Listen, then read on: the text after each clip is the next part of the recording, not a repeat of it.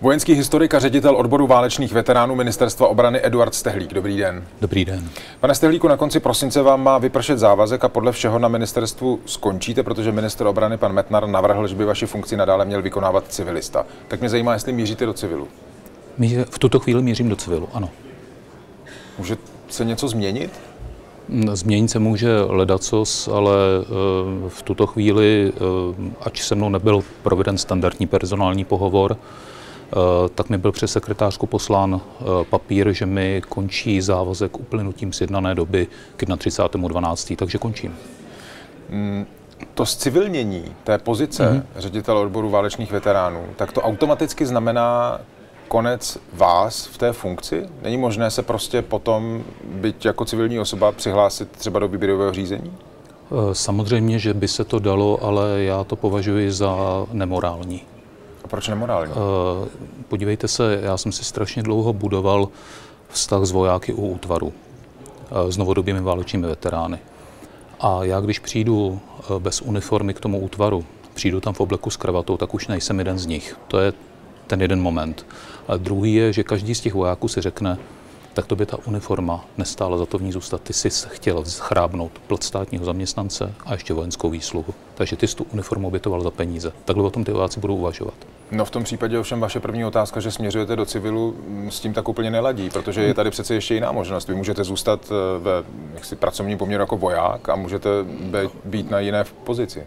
Ale takhle o tom nikdo neuvažuje, proto, protože mě závazek končí, nebyl mi prodloužen, to znamená, já v každém případě k 31.12. končím v uniformě. Mm-hmm. Je to souběh dvou věcí, eh, které někteří lidé využili pro to, abych tu armádu opustil. To znamená, že ně... Zajímá mě, jak to chápete. Chápete to hmm. tak, že někomu, nebo něk, někomu Někdo, jde o to, aby Edward Stehlík skončil v armádě? Přesně tak. A kdo by to Pochopil jste úplně přesně. Eh, jde o několik lidí, kteří se o to snaží intenzivně několik let. Poslední čtyři roky, to byly čtyři roky bossingu a šikany. Od mé bossingu tehdy... a šikany? Ano. Do způsobem, to je od který vašich nadřízených od mé, od mé nadřízené, ano, pochopitelně. Uh, tehdejší nadřízené, tehdejší nadřízené uh, paní doktorky Eleny Netolické, bývalé ředitelky nebo vedoucí sekce uh, právní ministerstva obrany. A jak se to projevovalo, to, čemu vy říkáte bossing Může, Můžete mít prakticky uh, standardní projevy bossingu, to znamená opakované kontroly toho, jestli jste na pracovišti, zákaz vystupování v médiích, postihování za vystupování v médiích.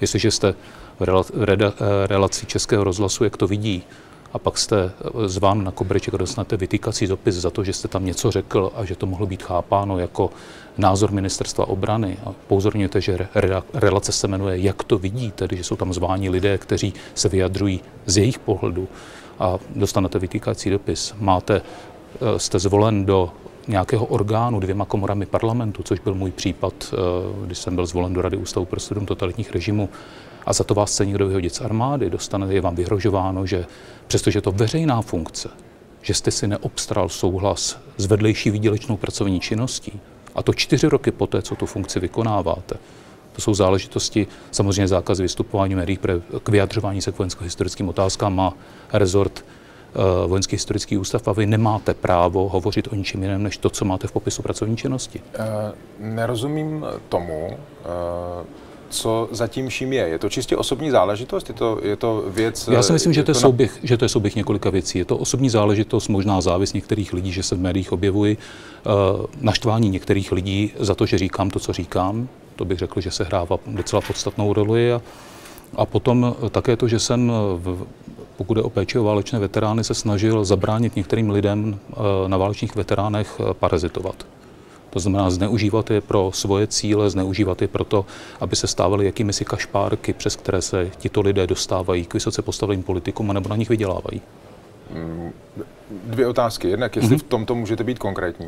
Jaroslav Sirový, ehm, šéf eh, Československé obce legionářské na Praze 2, který manipuluje s některými válečnými veterány, zejména s panem generálem Bočkem, bohužel jako ve svůj prospěch. Ve svůj prospěch samozřejmě.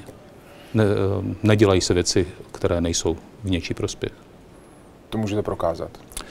Já si myslím, že to ví i lidé z Československé obce legionářské, opakovaně o tom hovoří další váleční veteráni, lidé si toho všímají a vidí to. Navíc je to tragické z toho důvodu, že pan Sirový je evidovaným spolupracovníkem státní bezpečnosti, krycí jméno Védě. A pak ta druhá otázka je, mm, mluvíte o tom, jakým způsobem se k vám vaše nadřízená chovala na ministerstvu mm. obrany. Ehm, na druhou stranu jsou nastavena nějaká pravidla. Samozřejmě. Minimálně pravidla, která mluví o veřejném vystupování nebo ve vystupování v médiích Určitě. zaměstnanců ministerstva obrany, jsou poměrně dost přísná a Hodně. myslím eh, získat jakékoliv vyjádření zaměstnance ministerstva obrany bez spolupráce s tiskovým oddělením je téměř nemožné. Moje vlastní zkušenost. Takže Vím. je otázka, jestli byste se těm pravidlům prostě akorát jaksi nesprotivil.